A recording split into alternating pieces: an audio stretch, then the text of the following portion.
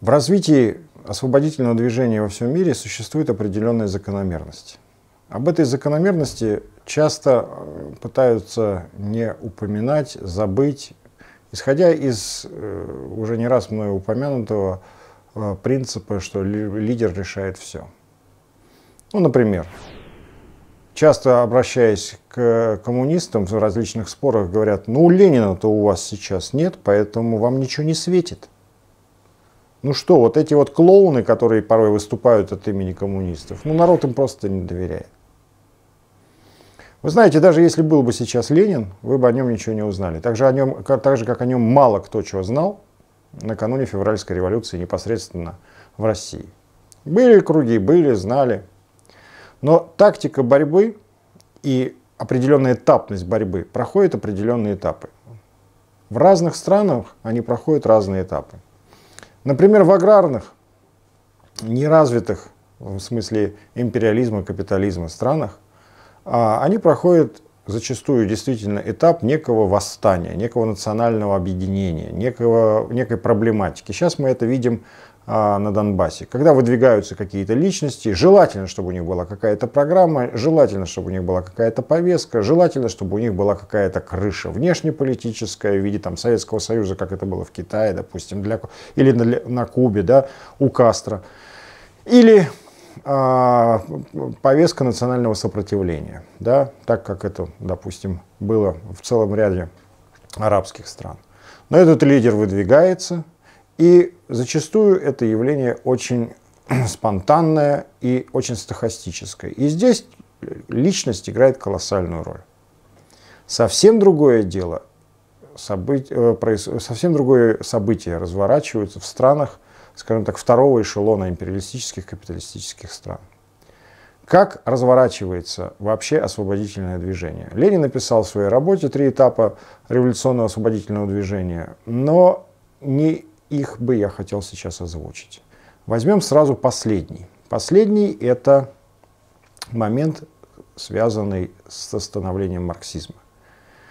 В начале нарастает сопротивление класса – класс тот или иной в своей борьбе, пусть будет это крестьянство, которое жжет э, помещичьи усадьбы, или рабочий э, уровень стачек которых настолько становится социально значимым и заметным, что они уже фактически э, делают тех или иных политиков, тех или иных мыслителей и аналитиков не э, сферической лошадью в вакууме, а знаковым каким-то э, явлением. Но даже когда вот этот процесс социального сопротивления э, у разных классов достигает определенного, э, определенной мощности, все равно те или иные аналитики, лидеры, политические лидеры, они должны описать страну, в которой они существуют. Если они адекватно такого описания не дают, а сразу начинают монтировать некую политическую организацию, то, как правило, такая, такая революция, такое преобразование социальное обречено на огромное количество ошибок. И вот тут можно как раз-таки любую обезьянку-лужку-то и ставить. Если вначале появляется качественное описание экономическое, политическое, политэкономическое, социальное того общества, в котором мы живем, а такое описание Владимир Ильич Ленин сделал в своей работе еще до того, как о партии большевиков стало слышно а, в полицейских управлениях России, в жандармских, это развитие капитализма в России. Сначала он описал страну, он родил видение, он его основывал на научном исследовании общества, в котором он живет. А потом уже появляется корректный, правильный, адекватной реальности инструмент в виде политической структуры. Но никогда не наоборот. При этом такая работа является ключевой, так как апелляция к ней – Споры с ней рождают различные политические ответвления, фракции, различные группы и как следствие будущие а, э, против, противоречащие стороны в противостоянии социальном, которое начнется через какое-то время, когда режим рухнет. Так было в начале 20 века. Почему-то, когда в, вот в последней части истории КТВ задавали вопросы, очень многие люди не поняли вот этого тренда и тезиса. Нам сразу говорили, ребята, вы напишите программу и э, устав, мы все тут поймем, что программа очень правильная, и будем объединяться вокруг какой-то структуры. На что Красное ТВ тогда сказала, ребята, Написать программу вы можете сколько угодно, но если вы не понимаете, не знаете свое общество, в котором вы живете, то любая эта программа, которая будет на сотый лад или на сотый, сотым вариантом, то есть манифеста коммунистической партии, она фактически соберет какую-то группку единомышленников, маргинальную группку единомышленников. Если в нее вбросить денег государственных, как в КПРФ, то эта группа единомышленников может стать в несколько тысяч человек, и она станет, или десятков тысяч, и она станет медийно заметной. И, соответственно, она будет заметная в социальном аспекте. То есть в интернете, в телевизоре, в разговоре в магазине у прилавка кто-то упомянет КПРФ или там КП чего-то там. Но все это не инструменты для будущего спасения России. А сейчас таким инструментом, как ни странно, является два фактора. Первый фактор – это должен быть класс, который фактически выражает свое, а, свое видение, свое несогласие путем жертв, путем сопротивления, путем самоорганизации стихийной, не стихийной, но рожденной изнутри народа, изнутри России изнутри любого другого государства. И когда этот класс появился, фактически появляются э, параллельно политики, которые плоть от плоти этот класс. Они выражают его интересы, они говорят на его языке. При этом класс этот, будучи он стихийный, несмотря на то, что он самоорганизовался, он во многом не имеет представления, что дальше. Он имеет против чего он хочет идти он имеет очень короткосрочные желания, там 8-часовой рабочий день, да, там, я не знаю, социальный определен, болотную копейку, очень краткосрочные. И вот тут вот политические лидеры, интеллигенция, они могут дать этому классу видение, но они могут его дать только после того, как появляется качественное научное исследование того общества, в котором мы сейчас живем в котором мы жили во все времена, когда человечество поднималось за свои права. А поднималось оно всегда, но сломы происходили, как правило, тогда, когда система, которая существовала на протяжении десятилетий, столетий, она полностью не могла себя воспроизводить. Она просто рушилась к ногам той или иной политической структуры. Так вот, научное видение. И в нашем видео, в этом материале, я бы хотел сказать о двух моментах, о двух вопросах, которые нужно решить сейчас левым и коммунистам прежде всего. И они ключевые, эти два момента.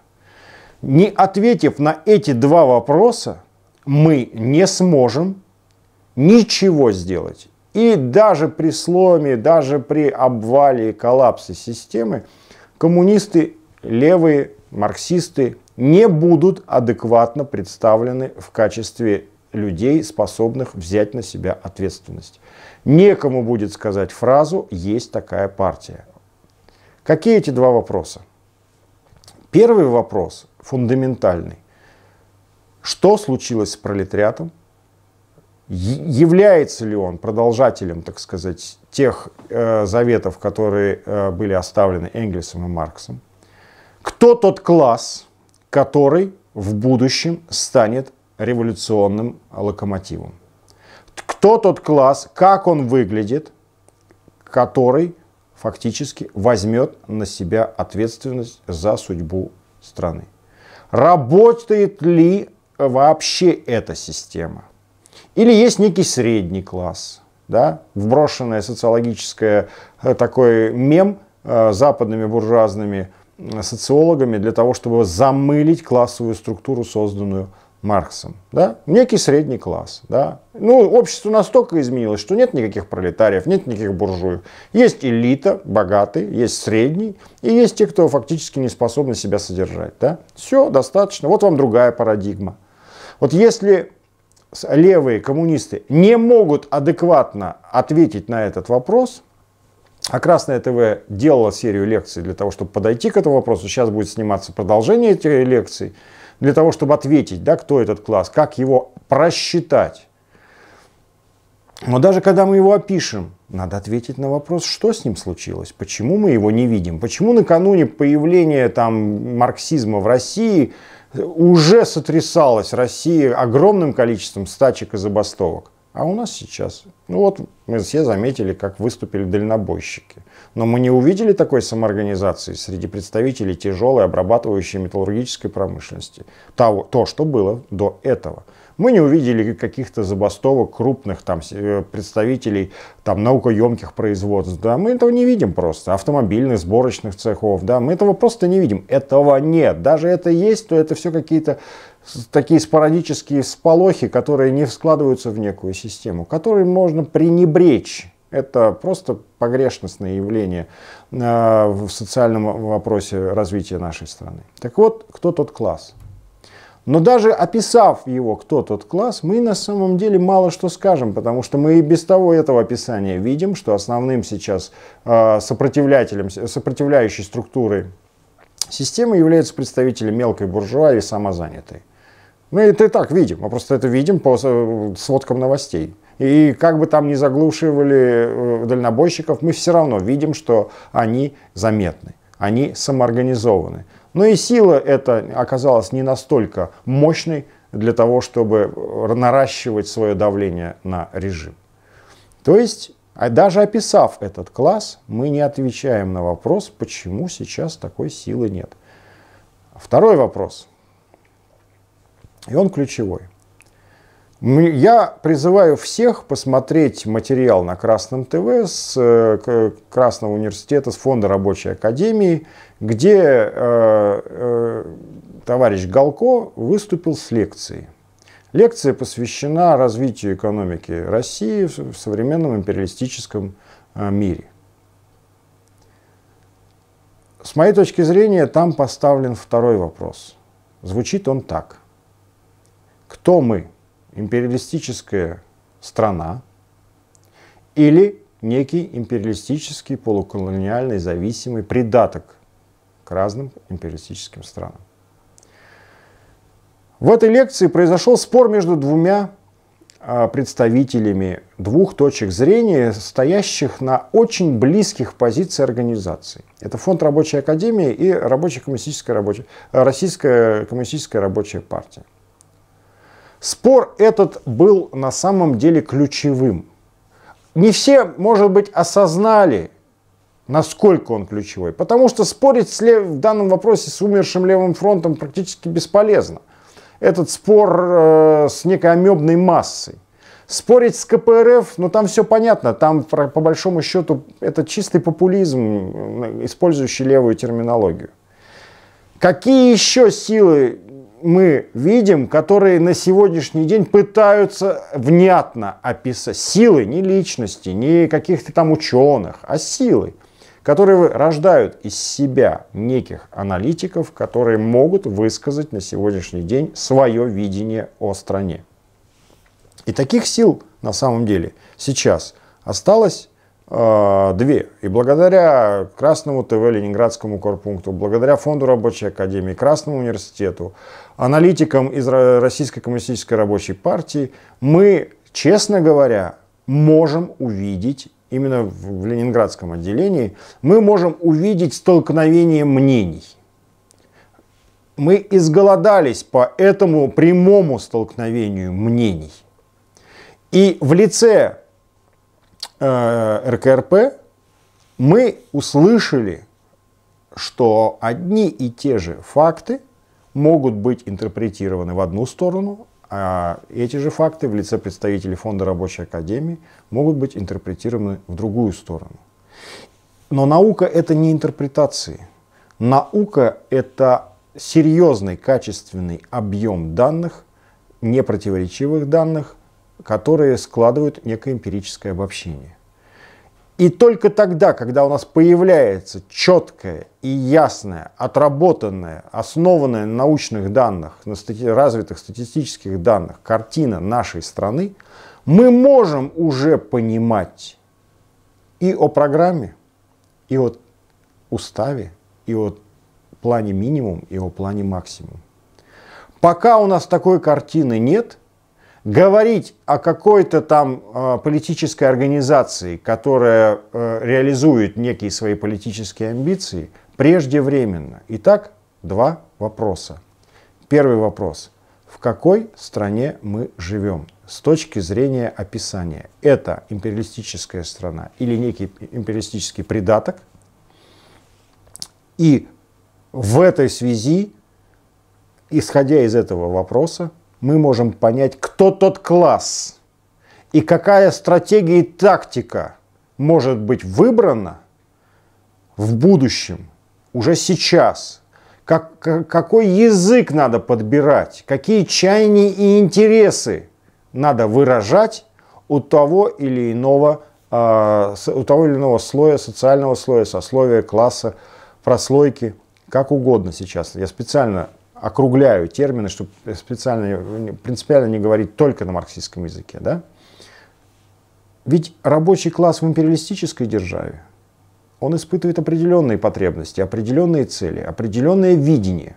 Рабочий класс или пролетариат, или наемный работник, или мелкая буржуазия в полуколониальной, зависимой, э, вторичной империалистической стране, которая находится в стадии становления или, никак, или не имеет такой тенденции, а фактически уже заняла некую отстойную нишу, это совсем другие чаяния, запросы и интересы.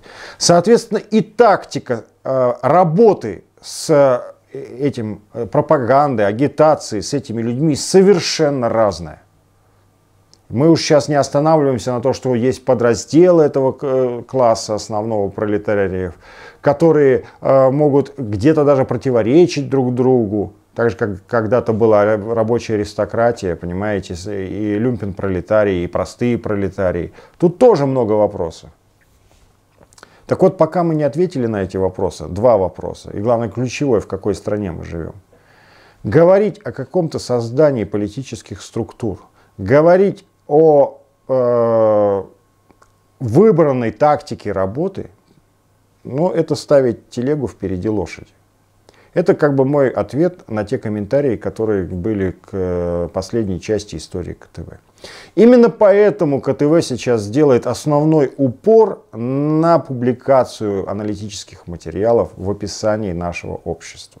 Именно поэтому Сейчас я прошу вас обратить внимание на это видео. Оно будет подкатом внизу на данного ролика.